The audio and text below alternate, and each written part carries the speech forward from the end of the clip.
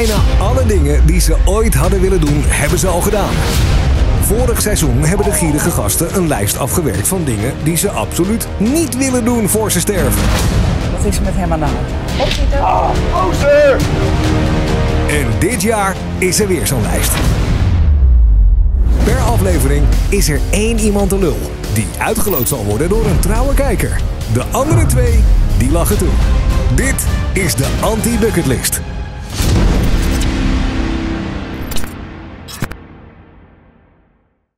Welkom heren. Dit is het nieuwe seizoen van die Anti-Bucketlist. Eh, Martijn, jullie hadden er nog niet genoeg van? Nee, blijkbaar. Volgens mij hebben we allemaal gezegd, eh, na één seizoen stoppen we ermee. Maar eh, hier staan we weer. Wat was jouw dieptepunt? Ja, Drugs op tv wel, hè? ik denk wel drugs op tv, ja. Joost, wat was jouw ergste keer? Ja, ik vond kaal wel echt vervelend. Dus op een gegeven moment, ik was gewoon een naakte poedel. Het was verschrikkelijk. Dat... Ik vond dat beter staan dan nu bijvoorbeeld. Ik hoop dat ik het dit seizoen ook weer allemaal mag houden. Als ik ook een beetje geluk heb. Niels, jij, eh, jij had mazzel. Je bent eigenlijk maar één keer gelood. Maar het was wel heel heftig. Lig je er nog steeds wakker van? Dat filmpje staat nog steeds eh, op internet. Staat nog steeds volgens mij op Pornhub is het hè? Zeg het nog maar een keer. Ja, ik ben een geilvarkertje. Martijn en Joost vonden het wel grappig, dat scheelt. Eh, ja, ik heb eh, acht opdrachten voor jullie. Zijn jullie er klaar voor? Nee. Nee. Nee, ik ga hem toch erin doen, jongens. Sorry.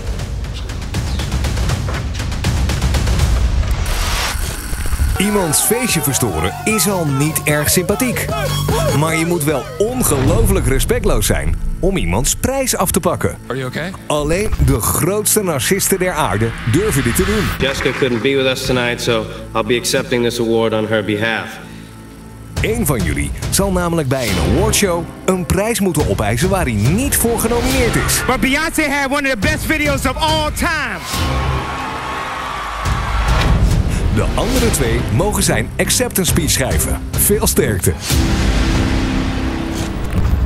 In principe krijg je een award als je een prachtige prestatie hebt geleverd binnen een bepaald vakgebied. Ja, gelijk een heftige. Een award opeisen. Het is totaal niet jouw moment. En dan ga je dat moment voor iemand anders verzieken. Dus ja, dat, dat wordt wel pijnlijk, ja. Ja, jongens, toch moeten we de loting doen. En eh, dit keer wordt dat gedaan door trouwe kijkers. Deze keer is dit eh Roeland. Hey Roeland, Hoi. jij komt één van deze twee gasten trekken. Ja, ik eh, ga het proberen voor je. Hoe lang Ja. ben je al fan? Ongeveer vier jaar al. Vier jaar al, Ja, oké. En de een leukste tijdje. video? Eh, dat vond ik toen eh, eh, Martijn eh ecstasy had. Jij mag een bal hieruit. Jij mag het doen.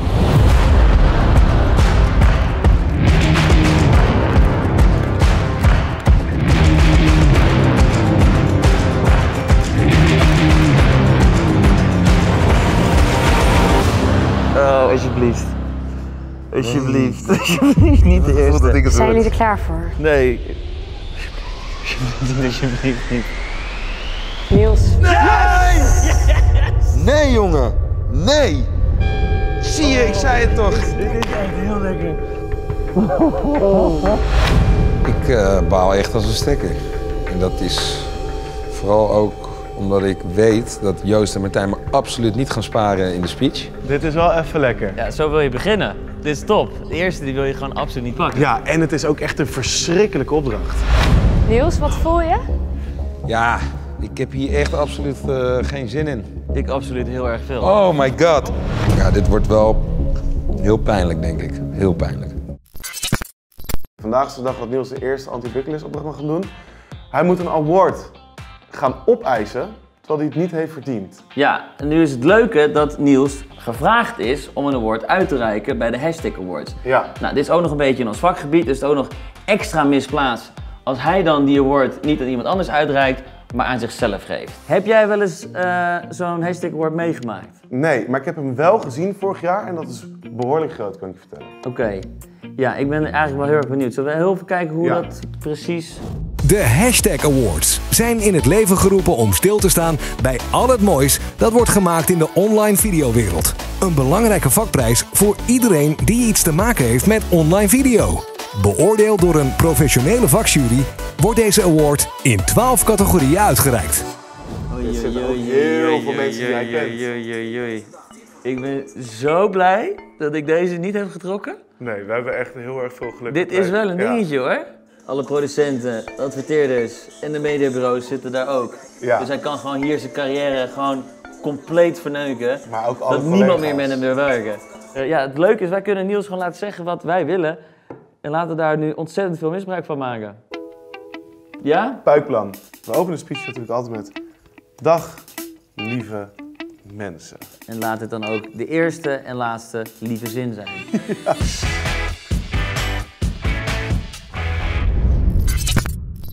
Ik denk dat ik wel ontzettend erg mijn eigen ruiten ga ingooien naar een hele hoop mensen.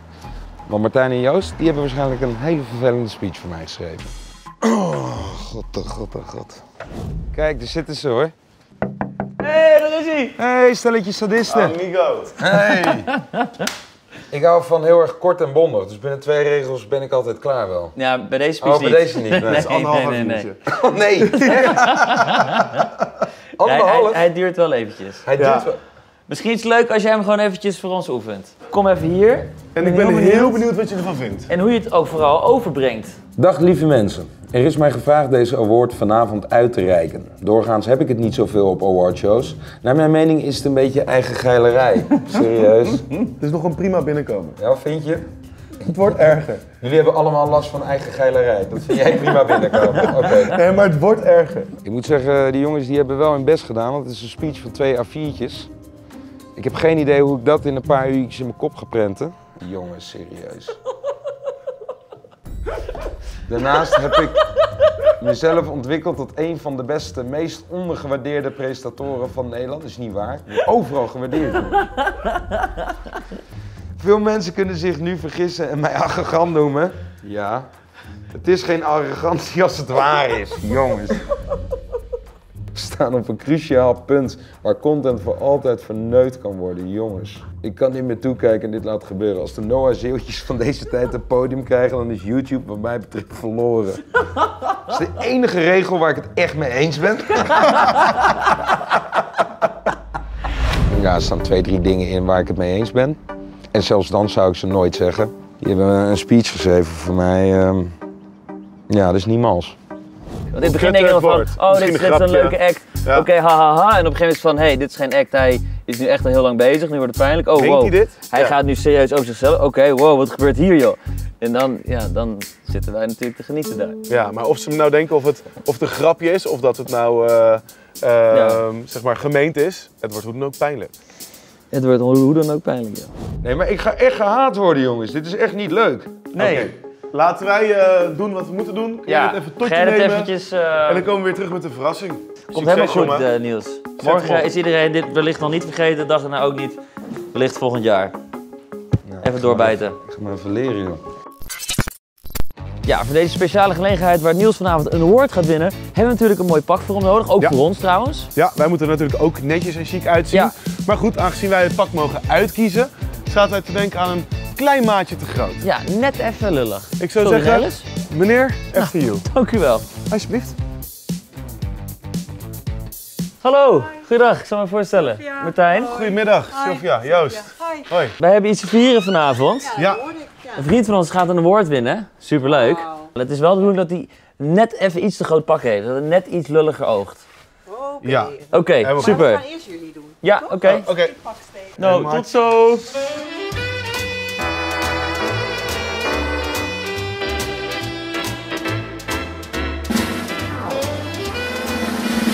Ben je er klaar voor, Martijn? Oh, ja. Kijk eens. Ja, jongen. Lekker pik. Hey, wij moeten ook even een pakje hebben voor Niels natuurlijk. Ja, en die gaat er minder goed uitzien. Ja. Oh, wacht even. Ik wil mijn styliste bedanken. Zij zorgt ervoor dat ik er altijd weer fantastisch uitzie. Die gasten zijn nu natuurlijk een ontzettend debiel pakje aan het regelen. Ja. Kijk. Dit is echt En groot. dit wil je hebben. Hallo, ik ben Niels, ik kom een award uitreiken. Ik wil graag mijn stylist bedanken. En dan met zo'n plofbroek, dit is top. Nou, ik denk dat we klaar zijn. Ik zit nu een beetje die speech te leren. Ik ben de beste presentator van de afgelopen vijf jaar. Kijk naar mij. Zet mij naast één iemand hier in de zaal en ik steek er met koppen en schouders bovenuit. Ja, dat zijn teksten, daar win je niet heel veel sympathie mee. Die zou ik ook nooit uitkramen. Pijnlijk gênant, pijnlijk gênant. Ja, vanavond wordt Niels Ooster begraven. Yes, we zijn er weer Martijn. Ja, Terug bij Niels, de avond is gevallen. klopt. Over een paar uur is zijn grote moment. Ik denk dat wij er wel klaar voor zijn. In principe hebben we alle ingrediënten voor een mooie avond. Ja, ik hoop dat Niels er ook klaar voor is. En eh, ja, we hebben nog een kleine verrassing, hè, want we gaan natuurlijk wel in stijl. Hey, daar ligt Daar hij, is hij. Je ligt er veel te ontspannen bij. Ik ben ziek van de zenuwen gewoon. Ja? Ik voel me echt niet lekker. Kun je misschien anders even je vieze schoenen van de bank afhalen? Het zou wel netjes zijn. Nou, dat is het laatste wat ik doe vandaag. Een pak met schoentjes. Een pak heeft Martijn. Ja. Ik zeg, ga je even lekker omkleden. Zometeen is al het, eh, het grote moment. Eens even kijken. Hij oogt wel iets te ontspannen, vind ik. Vind je? Ja. Hij ligt hier, zegt hij, gewoon ziek. Ja, ziek. Van de spanning. Hij lag gewoon eh, te chillen. Gewoon te chillen. Ja, dit zit oké. Jezus, jongens. Nog groter. Dit is wel heel slonzig. Mijn outfit op zondag, mijn joggingspak zit nog eh, strakker, ouwe. Ja, slecht teken. Ja, slecht teken. Maar wel lekker losjes, toch? Het zit als gegoten. Nou ja, je kan Jongen. het hebben. Je kan het hebben. Ja, omdat ik zo dik Mooi zeker. schouders. We hebben het allerduurste van de... Oh, nou, ik zie het al. Dat is rete goedkoop. Op mijn award. Op jouw ondergang. Op Niels zijn eerste en zijn laatste award. Ja, ik ben eigenlijk wel heel erg benieuwd hoe het met je speech gaat. Zijn misschien een klein stukje? Schoonheid is niet te koop. Schoonheid zit hier. Kijk naar mij. Ik ben het levende bewijs daarvan. Ik ben misschien niet eh, moeders mooiste. Maar holy shit, wat shine ik hard. Zo. we hebben nog één leuke verrassing voor jou. En die staat voor de deur. Ja. We gaan in stijl naar de show. Ik zou zeggen... Ben een hoer. Ja! een hele grote roze hoer. En ze staat voor. Let's go. Omdat Niels vanavond een prijs gaat winnen, hebben Joost en Martijn een limo geregeld. Gozer, je wint maar één meer keer dan dan het allerbeste. Een Playboy auto voor de niet-Playboy. Ja, Wauw. Dank u wel, meneer. Oh, mijn god. Nou, kom maar door met die champagne. Dit is toch even een droom die je nu uitkomt. Het kan natuurlijk niet zo zijn dat jij aan het dress bent. Je moet wel een strikje om. Oh, een strikkie. Oh, jongen. Wat een feest. Alsof ik het nog niet benauwd genoeg had.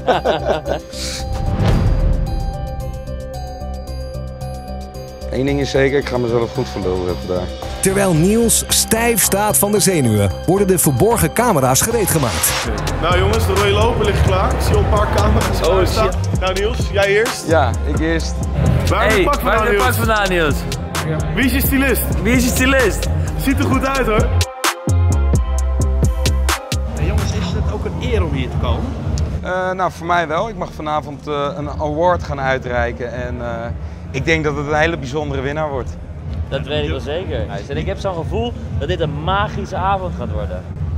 Moet je wel zorgen dat je er tip-top uitziet natuurlijk. Ja, is dit een soort van hint naar mijn te grote broek? Nee, nee, je knoopje los. Oh, mijn knoopje los. Oh, shit. Sorry. This is how we do this. In one way I'm yours. In one way you're a stranger. Heb je zin in? Nee, helemaal niet. Ik ben best wel zenuwachtig. Maar die speech heb jij nog niet. Wel. Nee, die speech eh, heb ik de hele dag uit mijn kop moeten leren. Oh echt? Ja. nog even één keertje oefenen haar. Nee, nee, nee, nee. nee. Je doet het uit je hoofd. Ja, ik doe mij mijn hoofd. Ik heb het echt bloed. Hey, mag ik heel even naar buiten, jongens? Het wordt nu ook serieus druk. Ik heb best wel wat koppen nu gezien waarvan ik denk, oh, ik heb echt geen zin om het voor jou te doen. Het is eh 2 voor 8. Niels is de eerste bekennen. Als het twee minuten gaat beginnen, dus ik ga Niels even bellen. Goedendag. Oh nee. Oh nee. Oh nee. Nee. Nee. Nee, ik kan niet naar harken. Zijn telefoon staat uit. Oh, dat kan niet. Ouwe, zou die hem echt gesmeerd zijn? Op dit moment eh, ja, gieren de zenuwen echt door mijn lichaam. Er zitten echt wel bekenden in de zaal, zelfs familieleden van beste vrienden. Die heb ik net gesproken en die zullen echt denken deze avond, wat is er in godsnaam met Niels Oostuk gebeurd? Wat een kutdag is dit jongens. Oké, ik ga naar binnen, ik drink een watertje, ik ga zitten. Ik ga die fucking show testen.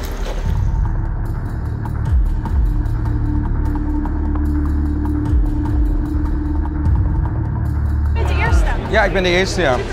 Dat is Ja. moet je het goede voorbeeld geven. Dat is het enige lastige. Het goede voorbeeld? Ja. Want Oké. als jij het niet goed doet, dan doet niet iedereen het niet goed. Nou, dan ligt er wel echt een eh, hele zware taak op mijn schouders. Maar jij kan dat. Dit is wel een dingetje hoor. Dit is denk ik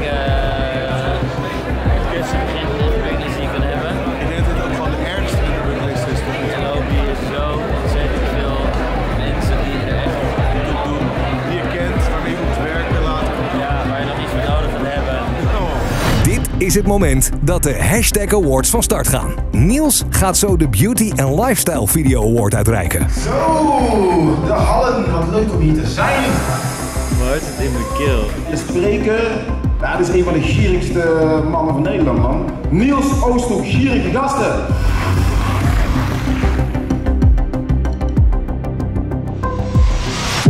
Ja. Ja, en wat dan? Moet ik nu iets over mezelf vertellen of hoe gaat het? Nou, je kan eh, de, de, de genomineerde aankondigen. Oh, dat? Oké. Nou, de genomineerden van de beste Beauty and Lifestyle Video Award 2019 zijn... Wat?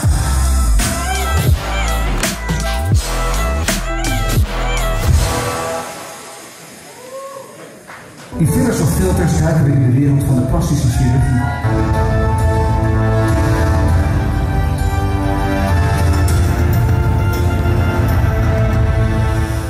Ten eerste wel even vertellen dat ik het ontzettend leuk vind om hier te zijn. Ja, mag een applaus komen. Ja, ik ga normaal gesproken helemaal niet van awardshows. Ik vind het één grote eigen geilerij. Maar ik dacht, hé, hey, deze wil ik wel even uitreiken. Daar ben ik de beroerdste niet voor. Als, eh, ik heb vorig jaar bijvoorbeeld eh, de winnaar eh, gezien. Petrus was dat. Die heeft eh, een documentaire gemaakt waarin hij drie maanden lang ging trainen om vervolgens een soort van wannabe onderbroekmodelletje te worden. Ehm, nou, dat werd op een gegeven moment eh, na een hoop uh, huilie huilie wel een leuke video, alles Stevie Wonder. Eh, daarom ben ik eh, extra benieuwd wie dit jaar de winnaar is. Dus ik ga nu even in de envelop kijken. Kijk, het kan natuurlijk Nicky Tutorials worden. Daar heb ik eigenlijk geen mening over. Of eh, fillers of filters. Nou ja, dat is een programma dat gaat eh, over wat er precies fout gaat op dit moment eh, bij de Nederlandse jeugd. Ehm, ja, en dan kunnen jullie allemaal lachen, maar ze hebben jullie allemaal wel als voorbeeld. Het stukje ongedierte wat hier vanavond voor me zit. Dat zijn jullie kut zeg, met z'n allen. maar goed, ehm, echte schoonheid eh, is niet te koop, denk ik altijd. Dat zit hier, kijk maar naar mij. En dan hebben we nog last en wederom ook least eh, Noah Zeel. Of moet ik tegenwoordig Noah Joy zeggen? Hij heeft een kleine naamsverandering ondergaan. Dat staat wat interessanter, denkt hij. Ehm, Noah Joy, jij hebt natuurlijk ehm, een documentaire gemaakt waarin je eh, een profcontract ging afdwingen in Brazilië. Fortaleza heet de voetbalclub. Ik heb even gegoogeld naar de eh, eerste elftal spelers van Fortaleza. Geen enkel van die spelers trainde hij bij mee. Dus met andere woorden, het lijkt wel alsof die video fake is. En dan vraag ik mezelf af hoe die genomineerd kan worden. Eh, maar goed, eh, eh, het mooie is wel, ik dacht dat het tijdperk allemaal was waar de fake video's voorbij was, maar kennelijk niet. Eh, we gaan gewoon door. Ik moet natuurlijk nu wel de winnaar bekendmaken. Ja, hè? Iedereen zit erop te wachten. Nou, daar gaan we. Nu komt de. De winnaar van de beste beauty en lifestyle video award 2019 gaat naar Niels Oosthoek. Dank jullie wel allemaal. Een groot applaus. Ja, jullie denken nu in één keer, hoe kan hij zichzelf nou van de woord uitreiken? Maar ehm, dat is heel normaal in YouTube 2020. Ik zie Calvin, waar zit je het jaarlijks doen als organisator van de Vriend Awards. Kijk, zichzelf uit. Dus ik denk, dat kan ik ook. Oh, mogelijk hè, maar uh, Calvin, chapeau. Ik eh, ben allemaal wel de allerbeste. Rijk dat award nog maar doe dan maar. Ja, dat doe ik. Ik ben de beste presentator van eh, de afgelopen vijf jaar. Eh, als jij eh, mijzelf naast iemand zet hier in de zaal, dan denk ik er met de kop de schouders bovenuit. Ehm, en dat is allemaal te danken aan Joost en Martijn. Waar zitten jullie te gniffelen? Ik heb alles aan te danken eh, aan jullie. Ehm, zonder jullie had ik dit niet gedaan en ook niet gedurfd. Dus dank daarvoor. En ehm, ja, ik ga deze award meenemen naar huis. Ik ga een mooie fles rode wijn eh, opentrekken. Daarna gooi ik hem keihard in mijn open haard. een hele fijne voorzetting van de avond. Dank jullie wel. Nee? Chico maakt andere mensen vrolijk, jongen, landbouw. Hij mag Ehm ja, ja, moet ik het doen dan? Ja, zeg Oké, de beste beauty en lifestyle video award 2019 gaat naar niemand minder dan Nicky Tutorials.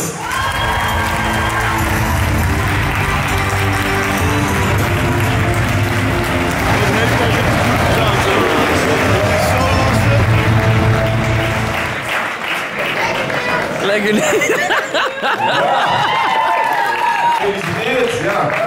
Niels Oosthoek, ja, ja, die slokt er wat tijd op, hè. Hoe voelt dat? Ja, mama, dit is... Nou, ik heb hem wel soort van zelf opgeheist en iedereen kapot gemaakt. Maar ik schaam me dood. Waar is onze stem? Is die? Oh, Niels. Geef eens even een knuffel, kom eens hier, jongen.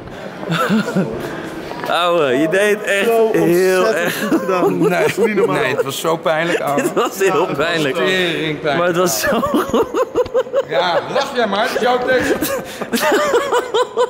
Vuilak. Zit erop. Hoe voelt dit? Dit moet toch lekker voelen? Ik weet niet eens meer wat ik allemaal gezegd heb, weet je dat? Zo gedaan. Ik weet niet eens meer wat ik allemaal gezegd heb. Hier, deze organisator. Ik ben wel blij dat Je, je, je zit wel in, in de show. Maar het was al de manier hoe jij naar mij reageerde. Ja. Van, oh, eh, oh ja, ik heb er echt heel erg veel zin in. Ja. En toen dacht ik, waarom, waarom zegt hij dat nou Dat- op die manier? ja, ja, dat klopt niet. Wat een- Ja, Ja, ik kan niet anders zeggen. Dit was je echt een bucketlist. Respect. maar op het moment, dat vond ik wel leuk, toen ik over Calvin en de vierde Awards begon, zag, ik, zag ik Tim Hofman keihard lachen. Zat hij helemaal, wat gebeurt hier? Hij deed het echt heel erg goed. Hij deed heel goed. Heel natuurlijk ook. En je hoorde, je hoorde een soort van eh, verbijstering door de zaal heen. Maar af en toe is er een paar dingen tussen. Dat vond het publiek ook heel grappig. Ik zie zit je het jaarlijks doen als organisator van de Viert Awards. Kijk, zichzelf elk jaar wel weer een Viert Award uit. Dus ik denk, dat kan niet ook. Nou, Steven eh, noemde me nog even een klootzak. Doei doei, klootzak.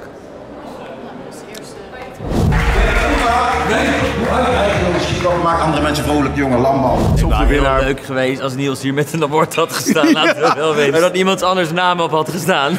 Maar die situatie was daar niet meer, toch? Nee. Het spijt me voor wat er net gebeurd is. Lekker man, beste speech van de avond. Ja, ja. Kijk, dat is goed. Tot dusver, je anti bucketlist. Ja. Tot volgende gedaan. week. Dag. Doei doei. Later. Geen high five? Oh. Goed gedaan. Heel onzeker.